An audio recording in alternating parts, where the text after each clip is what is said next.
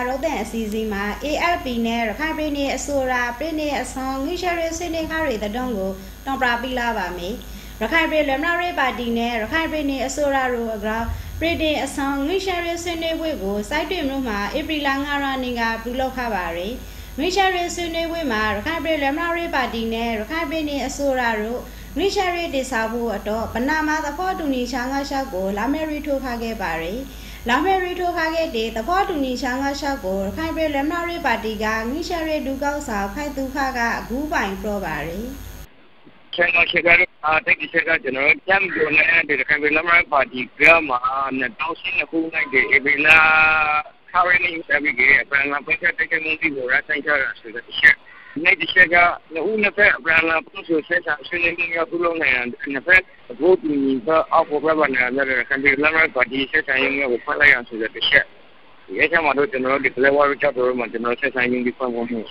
နံပါတ်3တစ်ချက်ကတော့ကျွန်တော်တို့ပတ်သက်တဲ့မှုတွေလည်းဆက်နေတဲ့ကာလတည်းမှာနှစ်ဖက်ဘုတ်တူညီတိုင်းဒီမှာပါနေနေကြလို့ပြီးလည်းနဲ့ကန်ဆောင်လာတဲ့အခါနှုတ်နှစ်ဖက်တို့ဒီနေ့ပြီးမှဆောင်ရအောင်ဆိုတဲ့ချက်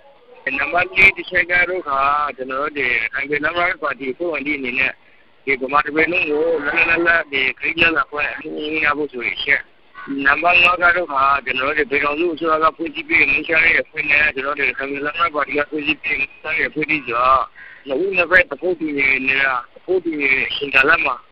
အင်္ဂလိပ်နဲ့တင်ရေးချရဲ့ဖွင့်ဖို့တို့တဲ့ဆက်ရကိစ္စအတိကိုပုံဆောင်နိုင်ဖို့ဆက်လက်တက်ပြနေရှိနေကြတယ်ဆိုရှင်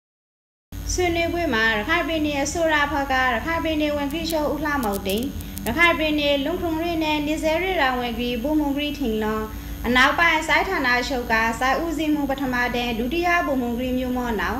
ပြည်နယ်ဥပဒေချုပ်ဦးစုဝွန်ရခိုင်ပြည်နယ်နေစဲဒေသခွင့်ဖို့တိုတာရီဦးစီးဌာနညကရီမှုတို့ဒါရောက်ခခဲ့ပြီက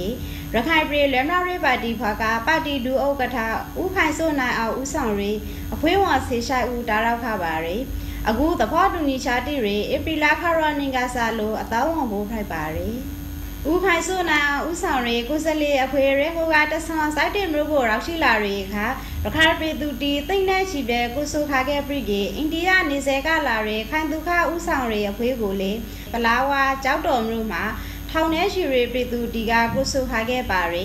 ဆွေးနွေးပွဲကိုစိုက်တဲ့ဟိုတီမှာဘူးလောက်ခါဆိုခိုက်ပါရီ